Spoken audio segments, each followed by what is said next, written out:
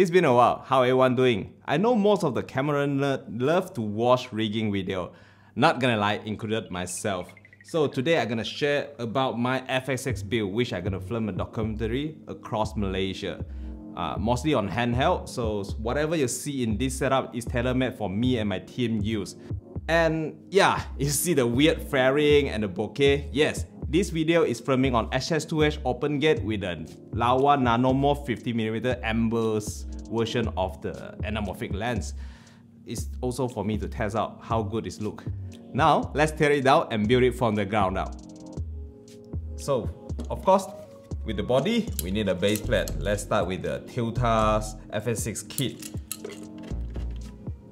So this base plate basically provides two ARRI standard rosette for us to mount the handle or anything the top plate. Usually people call this cheese plate. Yep. After this, we'll have the side panels.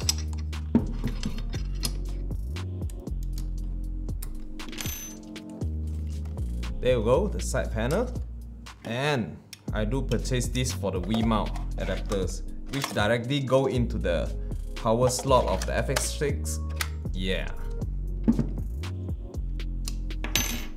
And the power cable is just nicely set next to the body. The next will be a shoulder pad that I get from SmallRig. So we need two rod and slot all the way in, tighten up. Now we have a shoulder pad. And it's a Manfrotto base plate. So the original top handles. We have to use back the original top handle because you have so much feature on the top handle itself that I cannot live without. You know, the dials, the zoom rocker, the record button and everything. It's, uh... Oh, I already pre-installed here. If the camera can see, this is a SmallRig hot lock system. It's quite interesting indeed. Yep. You can just lock in like this and release. And the other end of the Ninja 5, I also put on another adapter so we can just simply lock in. Yes. And I can adjust with the magic arm of this, I can simply adjust any angle I want. Let's put on the lens. The V mount Yes.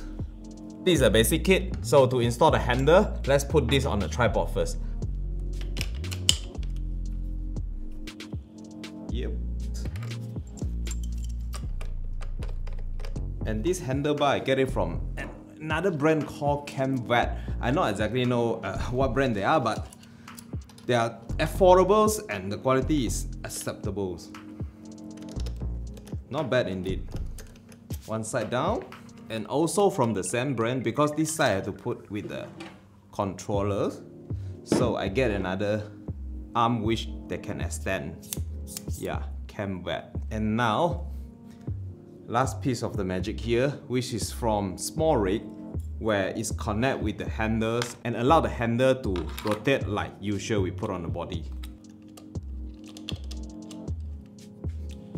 so we can put in the handle like usual lock it down. And we can adjust the direction and the adapter does come with the cables that can connect between the cameras and the controls.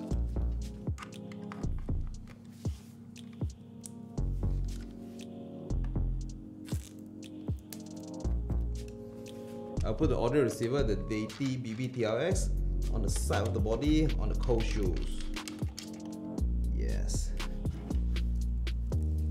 Run the cables. Now let's power, keep the power of the Ninja 5. And I usually set my monitors this way, which is upside down and facing backward. So whoever will operate the camera, the director get to see whatever he shot from behind. HDMI of course. The Rode NTG5 is one of my all-time favorite mic.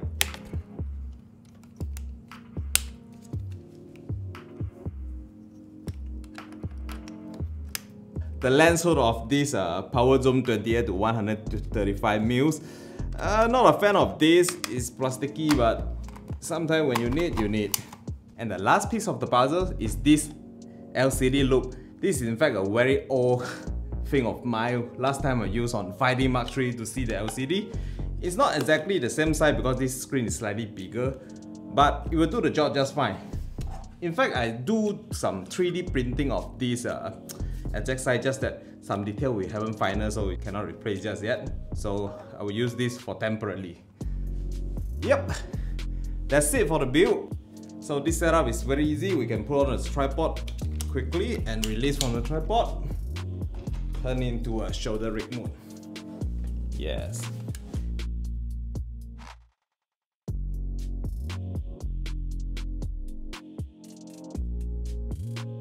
Yep, this is the build. And uh, we can get every control from the handle itself, which is zooming in, zooming out, control, record and everything. So this is a pretty cool build, huh?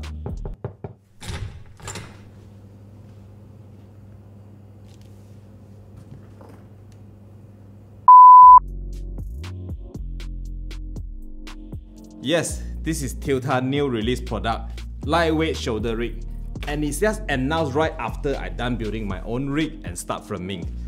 But gotta be honest with you, this does feel a little bit better than my build. Yep, so that's all for this video. If you love to see one more video of this Tilta lightweight shoulder rig built on my FX6, comment and let me know. See you in the next video.